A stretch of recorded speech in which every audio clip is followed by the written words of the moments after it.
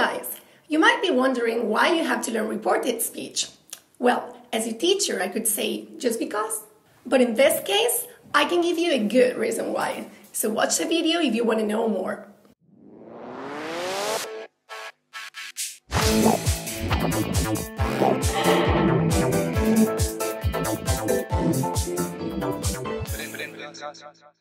So, the reason why you need to learn reported speech is gossip.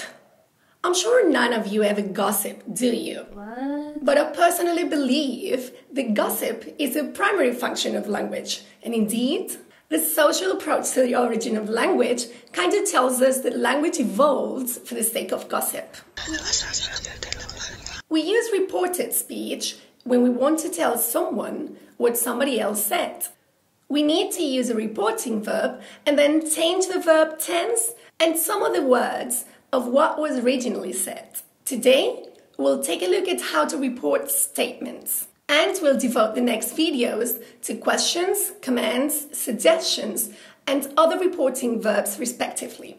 Well, last month I went to a really nice hotel with a spa with my friends Brie, my sister from another mister. Relax. And when I came back home, I was dying to tell my hubby all about our weekend, to the minutest detail, which included telling him every single thing my friend said, word by word. And I could only do so thanks to this grammatical structure. So, listen to what my friends actually said, and then you'll see how I reported it to my husband. Pay attention to the backshift in verb tenses and any other changes that you might spot. The hotel is awesome. Bree said that the hotel was awesome. You can say that or you can omit it. That's up to you. I'm having the time of my life. Bree said she was having the time of her life. I started my own business four months ago. She said she'd started her own business four months before. My little monkeys were watching The Grinch last night. She said her little monkeys had been watching The Grinch the previous night. I've watched this movie at least four times. She told me she'd watched that film at least four times. I've been looking forward to this getaway for months. She said she'd been looking forward to that getaway for months. I'd never drunk pink champagne before. She said she'd never drunk pink champagne before. We can leave our sneakers here. She said we could leave our trainers there. You must wear your bathing cap at the pools. She told me I had to wear my swimming cap at the pools. I'll get us some chips and cookies. She said she would get us some crisps and biscuits. I may not be able to stay until lunch tomorrow. She said she might not be able to stay until lunch the following day. I could get used to living like this. She told me she could get used to living like that. And so could I. As you see, could, would, and should stay the same. But it's not that the verb tense that changes. Did you notice any other changes? I bet you did.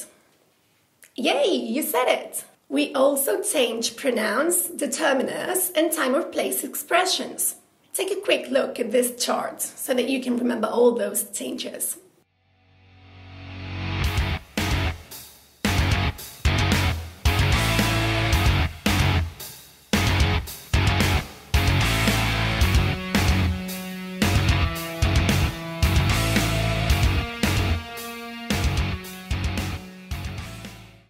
Might also have realized that I've used both say and tell to report statements.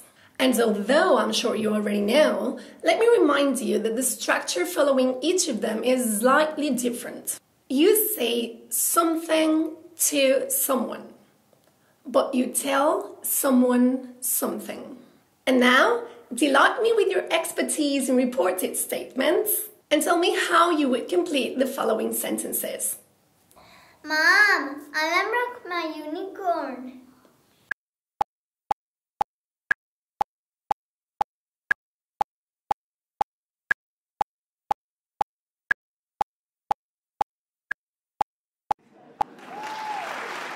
Yay! Anya told me that Alan had broken her unicorn. It's not my fault. Did.